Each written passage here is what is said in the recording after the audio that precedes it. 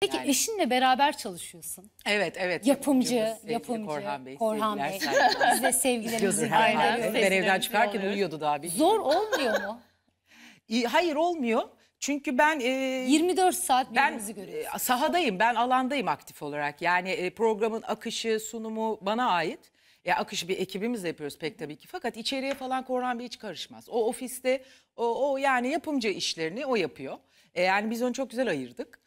E, o bambaşka bir tarafında işin. E, mutfağında, arkasında. Mali işler, ticari ilişkiler. O bir anlamda güven mi veriyor? E, Bir- beni kimse kazıklamaz, benim arkamdan Aynen kimse benim kuyumu hiç kafam kazmaz. basmaz. Ben yani 27 yılım bitiyor bu sene. E, çünkü 10 yaşında başladım. E, Aa, evet, evet. yaş çıkacak Hayır, ya. Şöyle yapacak. Çıksın Ya, ayağa, annemle babam biliyor. beni 5 yaşında sahneye çıkardı. Beni aldılar daha bebeğim Yaşımı, sahneye yaşımı büyüttüler. Yani e, ben gerçekten oldum olası e, hiç para pul işlerinden anlamam. Konuşamam, utanırım da. E, kafam da basmaz açıkçası. E, onun için zaten ben bu alana yöneldim.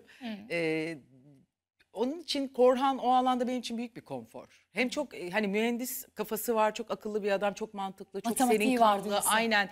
E, sadece para olarak da değil. Mesela ben çok duygusal yaklaşıyorum olaylara. E, çok fevri tepkilerim olabiliyor.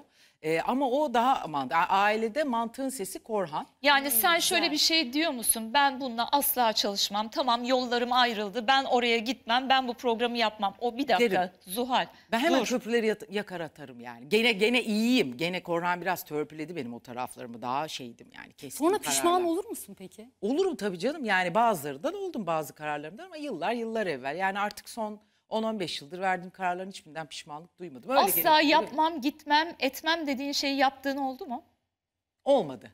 O kadar keskin net cümle kurduysam yapmamışımdır. Yok olmadı. Daha farklı daha ufak tefek konularda yanlışlıkla insanız yani hatalar. Ekranda geçmiş yıllarda polemik yaşadığın insanlar da oldu. Sen belki içine çok girmek istemedin ama Benim yine de birebir kimseyle bir yine de böyle seni de aslında. çekmek istediler. O insanlarla bir yerde karşılaştın mı ya da ne bileyim selamlaşır mısın? Karşılaştım ama yani ben bastım geçtim böyle ufak bir tebessüm falan. Benim için ya artık zaten onu da söylemek istiyorum. Keşke şurada otururken sizle vay be ne iki yılda üstümüzden kamyon gibi Ya. geçti şu pandemi ama öf Allah'tan bitti diye bilseydim.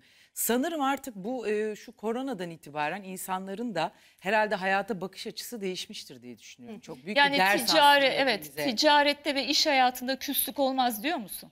Ya olmaması lazım Ee, ama kırgınlıklar tabii ki geçmez. Hele de haksızlığa uğradıysanız asla ben asla unutmam. Ama yani ben zaten siz beni çok uzun yıllardır tanıyorsunuz. Çok, Çok. çok, uzun. Çok da severim yeriniz bende ayrıdır. Senin de öyle. Ee, ben zaten çok fazla hayatı ve kendini ciddiye alan bir insan değilim olmadım. Her zaman için birinci sırada ailem gelir yani. Sonra işti diğer şeylerdi fasafiso. Yani hele de şimdi bu ikisi artık yaştan belli bir yaşanmışlıktan sonra Öyle, da öyle. artık ben ama Sağlık olsun. e, yani hiç takmıyorum kafama. Çünkü o ha- çok fazla e, önceliğimiz var hayatta. Olması gerekiyor daha doğrusu. Beni besleyen damarlar onlar değil. Yani kimisi bu magazinden beslenir ve gündemde kalmak hoşuna gider. İyi ya da kötü anılmak onun için problem teşkil etmez.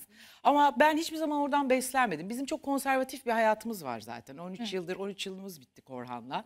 İşte kızım e, o kadar çok şey var ki yapacağım. Ben ben vakit ayıramıyorum. Yetmiyor zaten. Hele de 5 gün çekimde olunca e, mesela Diyelim ki bir ünlüye böyle senin canını acıttı ya da canını sıktı. Tam Çok böyle oldu bir şey çok ha, yaşadım. işte söyleyeyim mi söylemeyeyim mi ne yapayım köpürür müsün Ya evde o- kendi kendine mi konuşuyorsun? Kendi kendime o gitgelleri yaşıyorum ama e, sonra mantıklı düşününce günün sonunda değmez deyip geçiyorum yani. Ama tabii ki başka bir durum vardır, hukuki bir boyutu vardır. Sonuna kadar hakkımı ararım.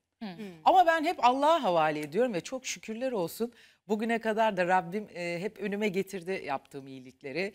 Ben hep kendi yolumda devam ediyorum, ilerlemeye de devam edeceğim. Ünlüler dünyasından dostun arkadaşın var, Var, mı var, yoksa tabii Hülya var. Avşar gibi ünlülerden dost olmaz mı diyorsun?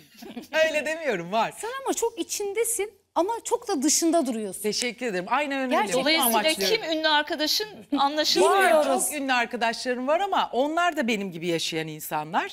Ee, ama mesela herkesin tanıdığı ve çok sevdiği bir Müge Anlı çok severim. O da seni seviyor. Evet sağ olsun buradan selamlar. Onun yeri Evet. ayrıdır yani Evet. bambaşka bir kadın o. Aynen. Bizim Ee, biz birbirimize televizyon kişilikleri olarak bakmıyoruz. Bir araya geldiğimizde de hiç iş konuşmayız ama bir sürede tabii Dedikodunu pandemi, yaptık geçen yaz gün. girdi falan filan görüşemedik. Ee, ama benim için yeri ayrıdır. Çok sevdim. İnci Türkay vardır mesela. Aa, Ama çok- İngiltere'ye yerleşti o. Ee, var onu da. çok arkadaşlarım var ama dediğim gibi biz böyle pandemiden evvel de zaten buluştuğumuz yer öyle piyasa mekanlar falandı.